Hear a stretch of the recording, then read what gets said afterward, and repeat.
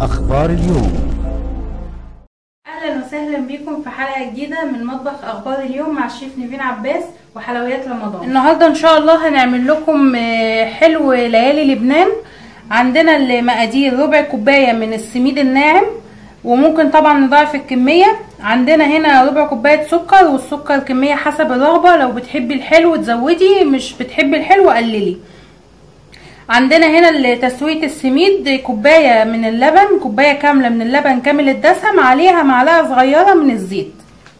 هنا هو حطينا اللبن على النار وهنحط له السكر وهنسيبهم لحد ما اللبن يدوب السكر يدوب في اللبن وبعدين نحط لهم السميد. اللبن اهو غلي هننزل بالسميد بتاعنا بالشكل ده كده. طبعا كمية السميد دي مش قليلة لأن اللبن دلوقتي هيتشربها كلها. الكمية دي لفرد واحد. لو عايزة لو عندك أكتر من فرد زودي ضعف الكمية. هنفضل نقلبه على طول كده عشان ما يكتلش لحد ما ي... ال... ال... السميد يشرب كل كمية اللبن اللي إحنا حطيناها. ولو عندك مية زهر أو مية ورد تحبي تطعمي بيها حطي مفيش أي مشكلة. هنا أهو. اللبن والسميد. هنفضل نقلب أهو زي ما حضراتكم شايفين ابتدى يتقل معانا. هنفضل برضو نقلب لحد ما يتقل خالص زي ما إحنا كده اهو. هنستمر كده بالتقليب. هنا اهو اللبن والسميد. السميد اتشرب كل كمية اللبن اللي عندنا. هنسيبه على النار برضو شوية يعني حوالي من دقيقة كده لدقيقتين لحد ما يبقى كله كتلة واحدة مع بعض. اهو كده هنفضل نقلب بالشكل ده. كده. اهو ابتدى يلف معانا.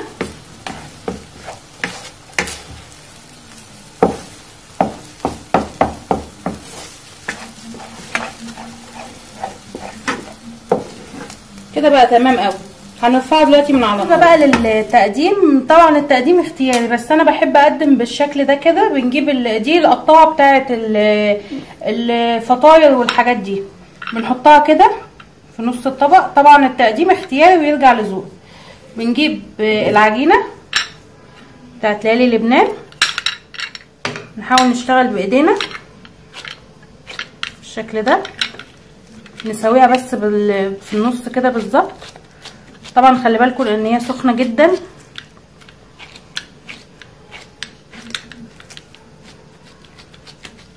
نسويها كده في قلب القالب عشان تاخد الشكل بتاعه.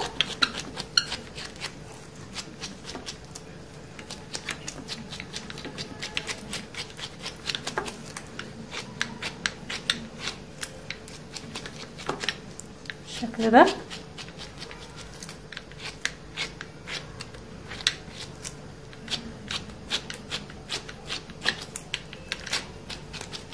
أهو.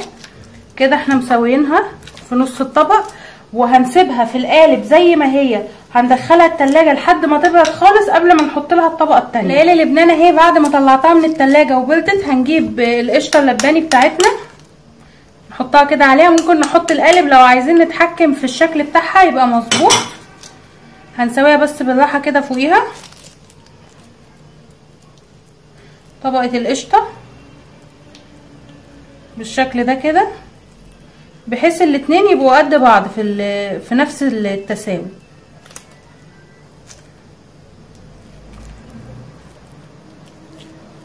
كده؟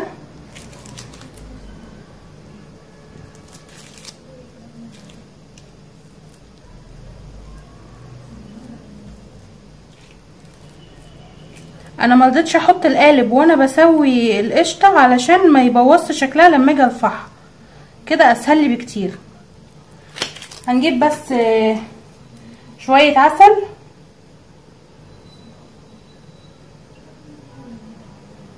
بالشكل ده كده.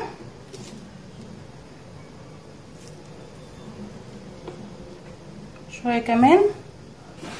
موضوع اختياري طبعا بتاع العسل ده وده العسل اللي إحنا عاملينه بالفانيليا الحبوب. آه الزينة بقى ممكن نحط كده شوية جوز هند. آه ممكن مثلا نعمل شوية زبيب كده بالشكل ده. الموضوع كله يعني إيه اختياري يرجع لذوقك أنتي. كده. ونجيب واحدة مثلا من الكرز نحطها هنا بس دي صغيرة قوي حبة الزبيب دي صغيرة نجيب واحدة كبيرة شوية عشان تبقى مسوية الباقي. بالشكل ده كده. أهو.